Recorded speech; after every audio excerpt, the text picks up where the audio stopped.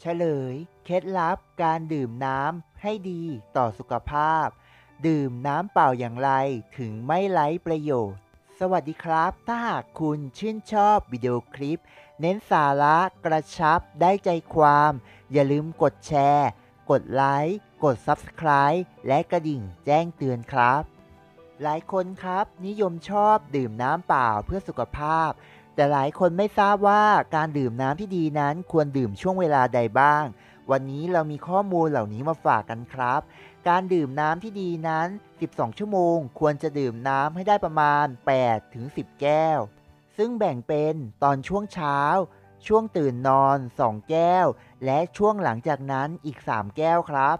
ซึ่งด้วยการดื่มวิธีแบบนี้ตั้งแต่ช่วงเวลา 6 โมงเช้าถึง 9นาฬิกาหรือ 3 โมงเช้า จะเป็นการช่วยขับของเสียออกจากร่างกาย นอกจากนี้ถ้าหากคุณดื่มน้ำก่อนช่วงอาหารกลางวันประมาณ 30 นาที หรือหลังช่วงอาหารกลางวัน ประมาณ 30 นาที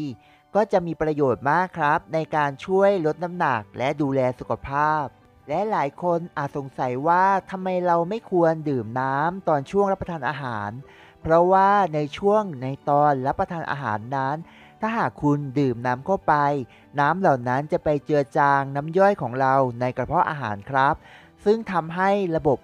ย่อยอาหารของเราทำงานได้ลำบากมากยิ่งขึ้น และที่สำคัญยังมีปัญหาทางด้านการดูดซึมสารอาหารได้อีกด้วยครับ และนอกจากนี้ข้อมูลในการดูแลสุขภาพ คุณควรจะจิบน้ำทั้งวันตลอดเวลาครับ เพื่อป้องกันสภาวะการขาดน้ำเนื่องจากประเทศไทยเป็นเมืองร้อน อาจจะมีปัญหาทางด้านสุขภาพเหล่านี้ขึ้นได้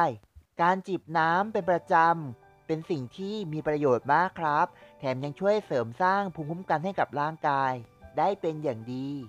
นอกจากนี้หลายคนสงสัยครับว่า ตอนช่วงเวลานอนเราควรจะดื่มน้ำดีหรือไม่ การดื่มน้ำในช่วงเวลานอนเป็นสิ่งที่ไม่ค่อยควรนะครับ แต่ถ้าหากคุณจิบได้ครับ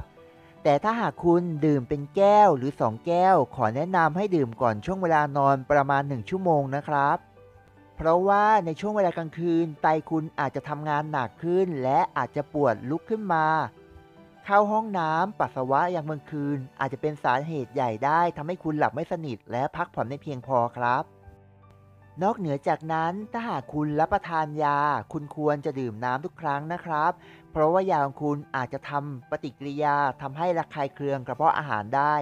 การดูแลสุขภาพกระเพาะอาหารด้วยน้ำนั้น ก็เป็นสิ่งที่ดีเช่นเดียวกันครับ ข้อมูลสาระความรู้ในครั้งนี้ ผมหวังว่าจะทำให้ทุกคนได้รับประโยชน์จากผมบ้าง ไม่มากก็น้อยนะครับ และถ้าหากท่านใดสนอกสนใจข้อมูลอะไรเพิ่มเติม ก็อย่าลืมคอมเมนต์ด้านล่างคลิปนะครับสำหรับวิดีโอคลิปนี้ขอบคุณมากครับ สวัสดีครับ